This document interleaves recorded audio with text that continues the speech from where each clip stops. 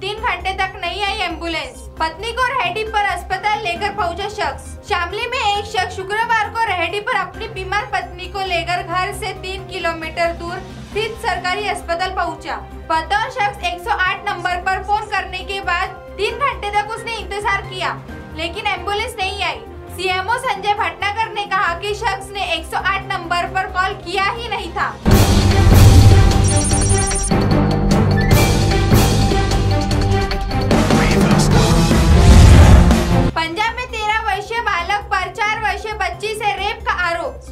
आरोपी ने खाया जहर।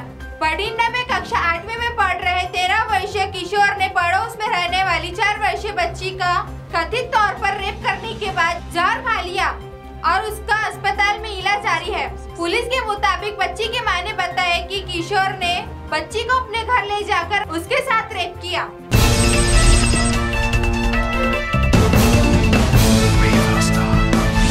दिल्ली के महरौली में शख्स ने की पत्नी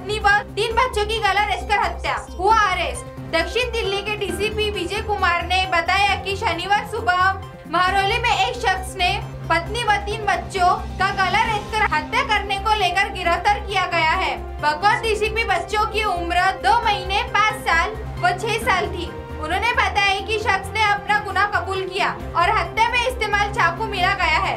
M N S news live की खबरें देखने के लिए आज ही प्ले स्टोर से M N S Hindi app download कीजिए और इस चैनल को सब्सक्राइब कीजिए। धन्यवाद।